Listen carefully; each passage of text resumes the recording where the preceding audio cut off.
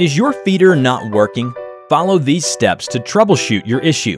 Please make sure your feeder is empty, as to not get hit with corn while testing. The first thing to check when your feeder is not working is the battery. If you have the timer, it should read 12 volts on the screen when connected to the battery. If it does not, or your timer does not show a battery level display, use a battery tester to confirm the voltage is reading 12 volts or greater, and proceed to charge or replace the battery if needed. Note, if your battery is dead, you will need to check your solar panel. It should also be reading 12 volts or more when in sunlight. You will need a voltmeter to check this. If your battery is fully charged, please check that your motor is working. This can be done by connecting the motor directly to the battery by using spare wire.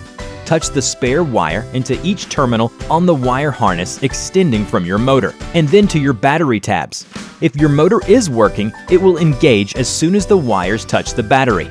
If all of these parts are working properly, your issue is with your timer. The timer has a 5-year warranty whereas our other timers have a one-year warranty. Please give us a call to check your timer's warranty before you spend money to replace it.